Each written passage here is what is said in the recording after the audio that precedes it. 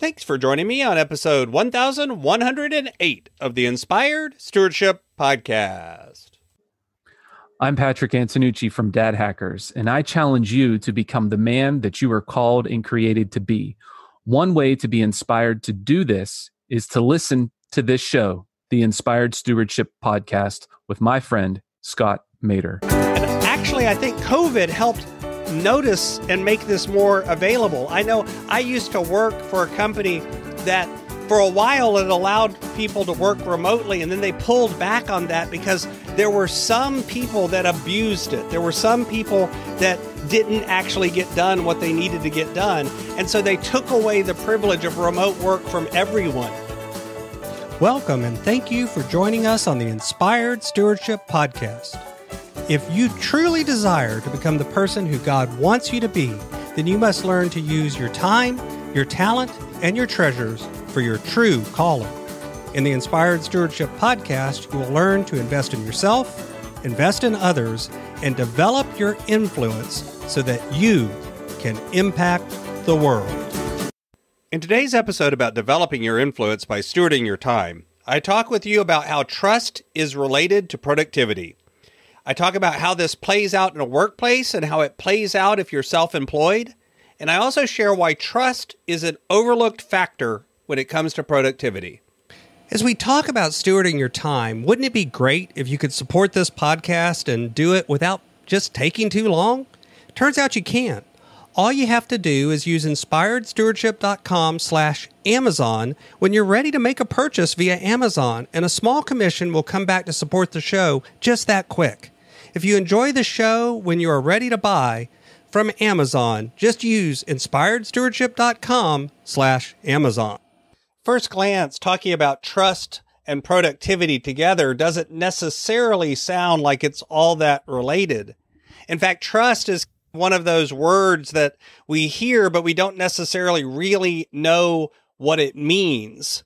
The formal definition of trust is defined as the willingness to put oneself at risk based on another individual's action. In other words, you're willing to take on some risk based on what someone else is going to do or not do, or say or not say, their action or their attitude and their belief. And in a business context, it turns out that there's actually research that shows that if you survey employees and customers and look for indicators of trust, so asking them questions that allow you to determine how much they trust the particular organization that they either work for or they shop with or whatever, the higher trust is, the higher the profit margins and dividends and return to shareholders and all of these other numbers that are generally related to how well the organization is doing in some way. If you measure output and productivity, increasing trust increases productivity. Basically, because as trust goes up, it turns out that the biggest factor is the speed of action and decision making goes up as well. Think about it. If you're working in an organization and you don't trust whether or not the people that you work for have your back, are you more likely or less likely to bring up concerns? Are you more likely or less likely to take action that moves things forward? Are you going to ask permission and really make sure you've got all your I's dotted, your T's crossed, and documentation before you take any action? Or, or do you feel more free to actually take the action that needs to be taken? Southwest Airlines is one of those companies that a lot of people admire in a lot of ways. And one reason why is they actually empower their employees to take action they'll let their employees make a decision on the point right there where the rubber hits the road when the customer's in front of them and they'll back them up on those decisions. Now, I'm sure that doesn't work perfectly because no organization is perfect, but that's one of their stated values. And that increases the trust of the customer and it increase, increases the trust of the employee. And it gets things done more efficiently and more effectively, which increases their profit. Employee disengagement is a huge problem. And whether or not you trust the organization you work for is shown to actually relate to engagement.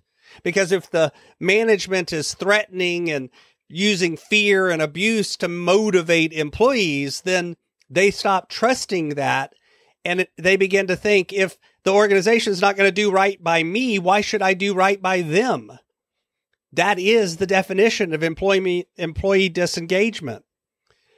Trust cuts down on some of the paperwork and bureaucracy and those sorts of things that have to happen. And trust increases the ability of people to collaborate with each other and work together in an environment that allow, allows them to actually be more effective. So all of this is about trust in a workplace where you have managers and employees. What about if you're self-employed? What about if you just work by yourself even? What if you are the only person in your organization? Like I run my own coaching business. It's still a factor of trust, not just self-trust, but also the trust you build with your clients and your customers, the trust you build with the network of people that you hopefully build around you, not necessarily as employees, but as friends, as people you can get advice from, as other people that are in business, as referral partners. All of those things about trust still play out because the truth is almost nothing that we do is done in isolation everything involves input and connection with other people at some level. And trust is the thing that helps make those wheels turn, so to speak. Trust is overlooked as a factor of productivity because it feels like it's fluffy. It feels like it's something that is hard to measure. And yet the truth is it's vitally important. And actually, I think COVID helped notice and make this more available. I know I used to work for a company that for a while it allowed people to work remotely and then they pulled back on that because there were some people that abused it. There were some people that didn't actually get done what they needed to get done. And so they took away the privilege of remote work from every but the truth is it wasn't remote work that was the problem. It was that ability to trust the employee and for the employee to trust the manager and for them to communicate about what was happening and what was getting done. The truth is, if they were able to get the work done and it took them less than eight hours to do it, why then did they have to sit on the clock for those two or three hours done? That they were just sitting there doing nothing. And yet we don't trust that the work was done we don't trust that the employee wasn't taking advantage of us. And the management team not trusting the employees is a problem. And in turn, the employees don't trust the management team either. And because in a remote work situation, it's hard to walk down the hall and see what's going on. That lack of trust means an assumption that what's going on is bad. And I think COVID forced through forcing remote work some reevaluation of how we could actually trust the employee and trust the manager to work together. I know companies that have installed all sorts of software to see whether or not somebody was actually doing their work. And then I know other companies that set up an environment where it's trusting the employees and then looking for the evidence, of course, looking to see that the work's really getting done. But at the end of the day, if it is, then why micromanage the situation? Which one of those would you rather work in?